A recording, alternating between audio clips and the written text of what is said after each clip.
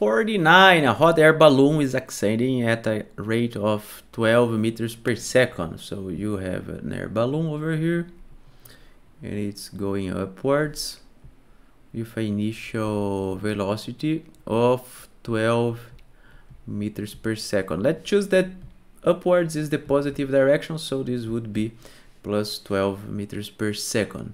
And is 80 meters above the ground when a package is dropped over the side. So it is 80 meters over the ground. So let's choose that the ground as 0 meters and this position over here would be 80 meters, right? And the package is dropped. So this is a package and it's dropped over here. How long does the package take to reach the ground? Which what speed does it hit the ground? So those are the the questions that we have to answer. So this is a classic constant acceleration exercise. So when the acceleration is constant, there are three different equations that we can use.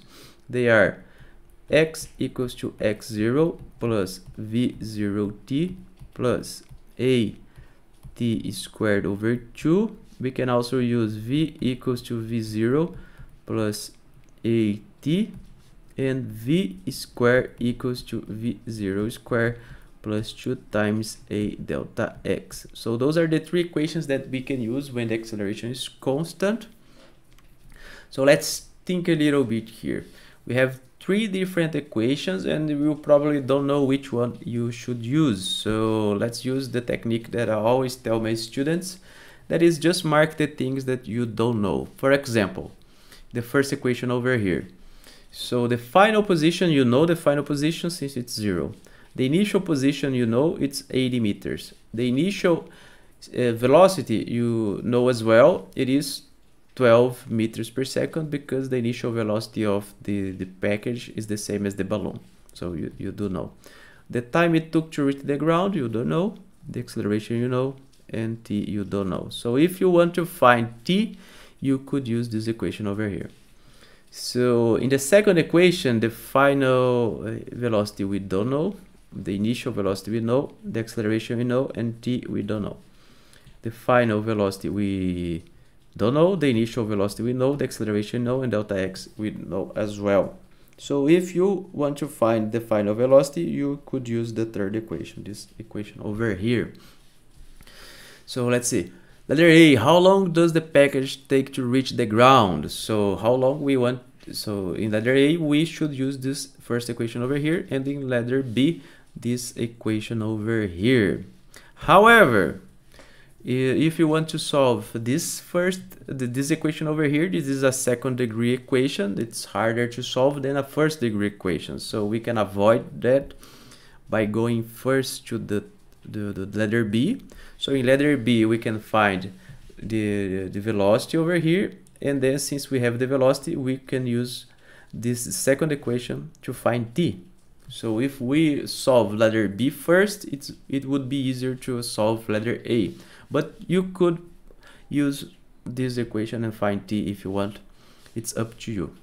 So let's go for letter b first.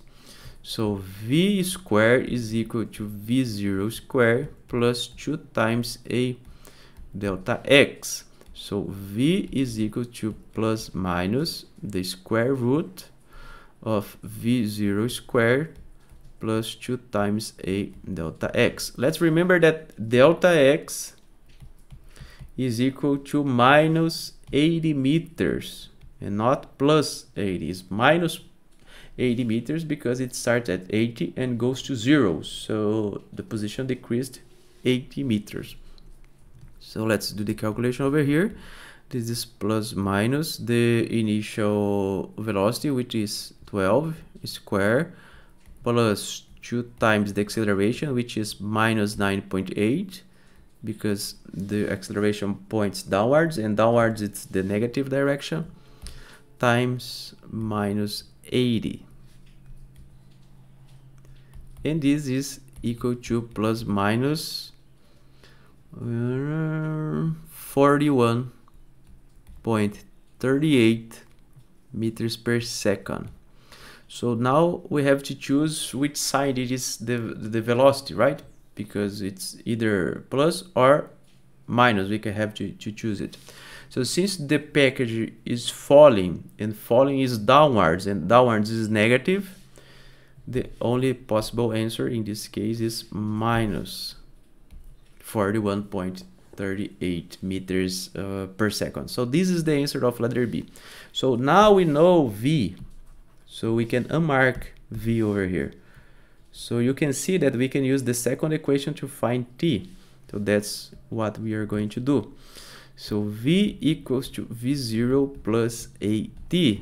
So T is equal to V minus V0 over A. So the final velocity we know it is minus 41.38. The initial one we know it's 12 and this over minus 9.8 and this is equal to 5.45 seconds. So this is this is S.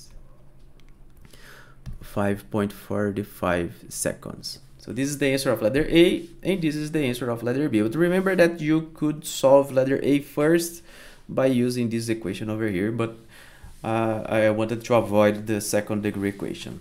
And that's it.